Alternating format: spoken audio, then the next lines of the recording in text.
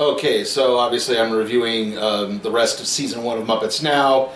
I don't know if there's going to be a season two. Um, this is going to be a quick turnaround to that on this show because uh, I was excited after the first episode. I thought it was great. I thought it was enjoyable. I was looking forward to more, and uh, now not so much. Uh, this show is not made for binge watching. I'm not going to get so blow by blow and spoilers here.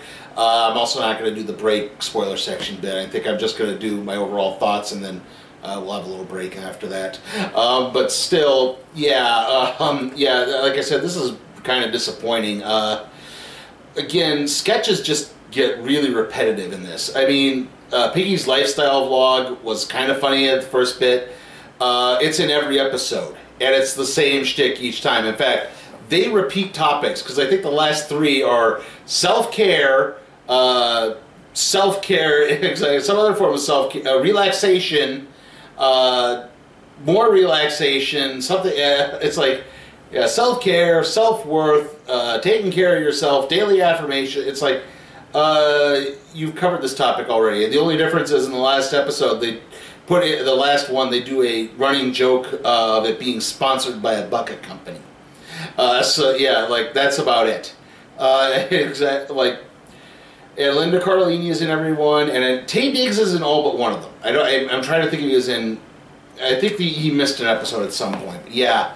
Uh, likewise, you know, I like the Swedish Chef show, but uh, Okie Dokie Cooking. But again, it's in all but one episode. It's again, it's just like it's funny, but you need to spread these things out. Even SNL knows you don't do Wayne's World every week. You don't do uh, the Roxbury Brothers every week, or the cheerleaders every week, or uh, I guess in the modern case, the Totino's Pizza Rolls ads every week. You don't run them into the ground, and that's the problem. Like this show is not made for binging. Like if you watch this maybe every week after it came out, it probably worked a lot better. Maybe I don't know, but when you try to, I tried to watch.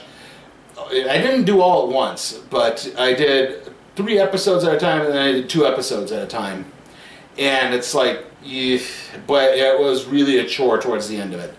it like I said, it's going to get sketches repeat themselves. Sketches that are interesting, but again, Muppet Labs field test, which I is entertaining enough to I think have been its own actual show. It shouldn't really be part of a sketch, but yeah, it's like Muppet Labs. The first one, uh, I'm trying to think where it is here. Uh, see for uh, final question. Oh, here, here it is. Muppet Labs field test. Um, disclaimer from Legal Joe: uh, Beaker is replaced by an Alexa-like uh, Beak R. They're talking about uh, rocket science, and then they're doing pressure or sound experiments and stuff like that. And again, it's sort of like MythBusters, but with the Muppet Labs people. And it's like that was actually interesting but again, it happens in all but one of the shows. Pepe's uh, game show, which is also kind of funny just because of this weird madcap nature of it, is in all but three epi- is in half of the episodes. Swedish Chef's show, again, I said I think I said that already, is in all but one of the episodes.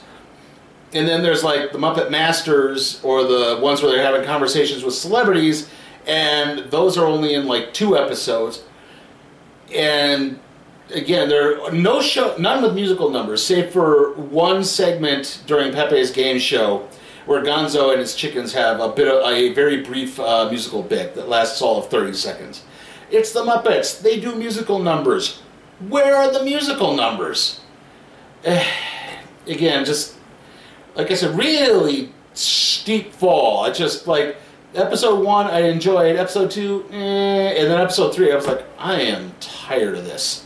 Um, and there are funny bits through it all. Like every show has a motif. Uh, I think in the third episode, uh, it turns out the show now has to be focus tested, and they hire Statler and Waldorf.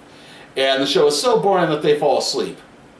Like again, that was kind of funny. Another one, a Scooter has to get a system upgrade for his computer, and he has to try to upload the show before the upgrade possibly shuts everything down. And then another one, it's like Robin, uh, Kermit's nephew, has been appointed social media manager, and he keeps interrupting Scooter, which interrupts the upload, which prevents from uploading. So he's thinking, oh, Scooter's having trouble uploading, so he needs help with his computer, so we need to start a GoFundMe for it. And like I said, stuff like that is funny.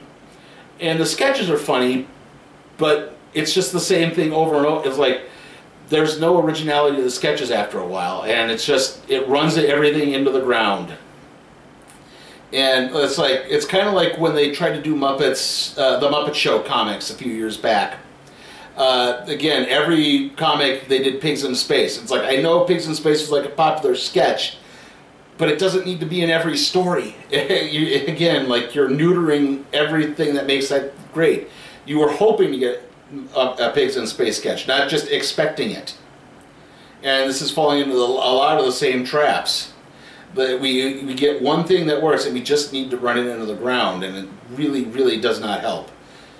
Okay, so I think I've gotten repetitive myself here, so I apologize. I'm just going to sum up and say I give the rest of Muppets Now Season 1 a C. It is very average. Uh, I, I don't. I want more stuff with the Muppets, so if there is a season two, I'm not going to be entirely opposed to it, but I'm not really looking forward to it. Trip to the city of your choice for eight, free. Come along, boys. Shopping, free. Just a few more blocks. Entertainment, free. No cats in this one, right? I don't think so. Time with people who make you feel warm and fuzzy, priceless. Let's go. Drive fast. Use your MasterCard and you could win a getaway with people you're closest to in our Priceless Memories sweepstakes. Okay, so the next video is going to be the random trade review on the Mask Omnibus Volume 1. Um, then after that, uh, I'm going to do another uh, thing with Madden. Uh, I think it's going to be like a new sort of uh, idea for a segment where I start doing either the franchise mode or the face of the franchise mode, and I kind of, uh, you know, do sort of running commentary on it. I don't know how well the volume is going to be in it. Again, I'll probably have to mute a lot of it because there's licensed music all over Madden, and I've tried to get rid of it as best I can, but still. Uh, it's good. I think it'll still be kind of unique to go over a little bit there. And then um, the next movie review is going to be another Disney Plus original. It's going to be um, The Secret Lives of Second Born Royals. I think that's what it's called, hopefully. um, I, I, it's like I tried to look up a little information on it, and I tried to type it into Google. I keep getting The Secret Lives of Second Wives, which is a Lifetime movie. So I yeah, I, I hope I got that title right. Anyway, Secret Lives of Second Born Royals. Yeah, it just rolls off the tongue, doesn't it? Um, like I said, that'll be fine. Uh, that'll be the next movie review. Uh, I'll be doing some Madden stuff in between that. Obviously, there'll be random trade review episodes. Uh, wrestling at the end of the month, so see you all next time.